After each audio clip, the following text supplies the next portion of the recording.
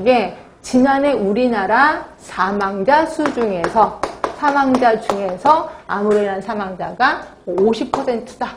그럼 어떻게 하실래요? 이거는 비례 사망률을 구해야 되는 거죠. 예, 이런 식으로 좀 구분을 해주시면 돼. 그래서 얘네들은 이렇게 풀어서 시험 문제가 나올 확률이 많으니까 그렇게 기억해 주시고요. 자, 이렇게 해서 우리 보건 통계 끝이 났습니다. 자, 뒤로 갈게요.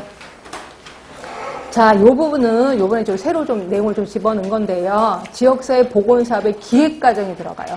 자, 이렇게 점점 기획이 좀 많이 나와서 기획 부분이 많이 나올 수밖에 없는 이유 중에 하나가 우리 보건소 업무 중에 보건소에서 기획을 해라라고 얘기했잖아요. 그런데 이 부분이 나올까봐 했는데 자, 우리 기획을 하려면 기획 단계가 있어요. 자, 기획 단계 제일 처음 거기 박스 안에 보이시죠? 무슨 단계? 맨 처음.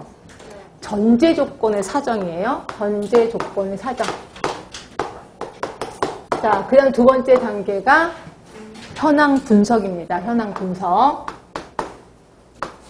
자, 현황을 분석했어. 그리고 나면 세 번째가 뭐예요? 우선순위 설정하는 거죠. 그러니까 현황을 분석하면 여러 가지 문제점들이 나올 거예요. 그 문제점들의 우선순위를 설정해요.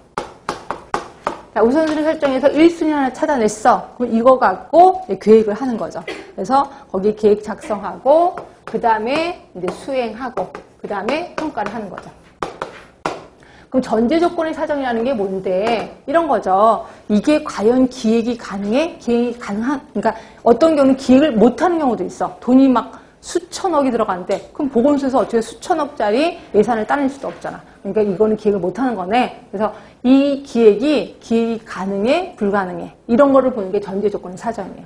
또는 만약 기획이 가능해 그럼 요 기획을 누가 할 거야 어느 부서가 할 거야 이걸 결정하는 거죠 그래서 그 기획을 하는 부서 또는 이 기획의 가능 여부 뭐 이런 것들을 결정하는 게 전제 조건의 사정이라고 보시면 되고요 그랬더니 어 요거 기획할 만해 그리고 요거 할 수 있는 부서가 딱 정해져 있어 그 부서가 하면 되겠네 라고 정했어 그리고 나면 이제 현황을 분석하는 거예요 현황을 분석하는 거는 지금 현재 어, 전체적인 말 그대로 상황을 분석하는 거죠. 사정을 하는 거죠.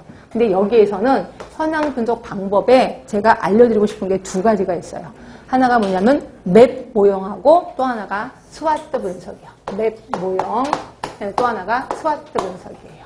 자, SWOT 분석에 대해서 이미 기출문제가 나왔고요. MAPP 모형이 슬슬 나올까봐 지금 나오고 있습니다. 근데 어, 이게 어디에서 나오냐면 그 연구사 쪽에서 이미 문제가 나왔거든요. 우리 쪽도 나올 확률이 많단 말이에요. 그래서 이걸 제시를 하는 겁니다. 자, 맵 모형 볼게요. 맵 모형은 네 가지 단어가 합쳐진 게 맵이야. MAPP, MAPP. 요게 네 가지 단어인데, 네 가지 단어가 어디 있냐면, 거기 19쪽에 있을 거예요. 19쪽에 그림에 있을 겁니다. 그림에 보시면, 이게 바깥에 둘러싸고 있는 화살표 보이시나요? 바깥으로 둘러싸고 있는 거. 자, 메뉴에 보시면 지역사의 주요 관심사와 강점 사정, 강점 사정이 있습니다. 그리고 옆에 가시면 지역 보건 체계 사정, 체계입니다. 지역 보건 체계. 그리고 밑에 가시면 지역사의 보건 현황. 그리고 왼쪽에 가시면 변화와 영향 요인의 사정. 요게 맵이에요. 그러니까 네 가지 맵을 사정하는 거죠.